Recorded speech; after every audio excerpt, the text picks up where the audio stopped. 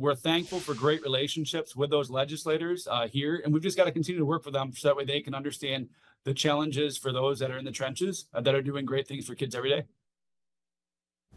Local schools reacting tonight to the new state budget and the money needed to support educators and improve student success. The state legislature worked into the wee hours of the morning to approve its annual spending plan. The new state budget includes money for everything from rebuilding infrastructure and economic development to public safety and education.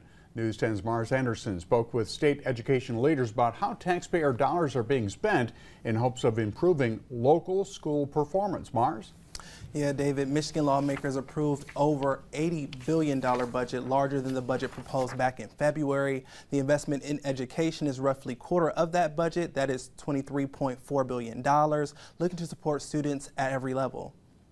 The Michigan legislature passed an education budget for the 2024-25 school year with the focus on student success from early childhood to post-secondary education this budget is transformational for education in Michigan. When we look at the budget as a whole, um, you know, I still think there are some things that uh, could be considered unresolved from an education standpoint. A budget that provides free pre-K for four-year-olds in Michigan, investments in child care and programming offered during the school year and the summer. Which sets kids up to be early learners, early readers, to meet their milestones, to be ready to be able to take that next step in their educational journey when they enter elementary school. Along with the guarantee for free community college for Michigan high school graduates. So you can earn a skill certificate, an associate's degree, you can take your classes to be able to transfer to a four-year institution at no cost to you and your family. Mental health and safety received less than half of the amount proposed, a shortfall that the superintendent of the Ingham County Intermediate School District says will present challenges for local districts. We served uh, almost 675 students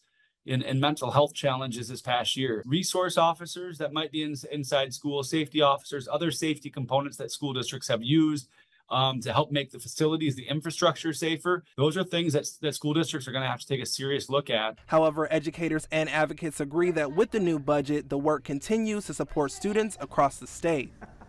Pros and cons, good stuff, some other challenging stuff. We'll continue to work through it.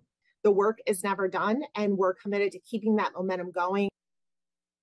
Other investments in the budget include a focus on student literacy, free breakfast and lunch programs, and more support for students with special needs. Now that lawmakers have approved the budget, it's headed to Governor Whitmer's office for signature. Excuse me. Live in the studio, Mars Anderson, News 10.